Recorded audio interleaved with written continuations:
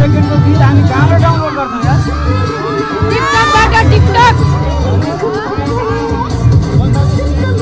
टिकटकबाट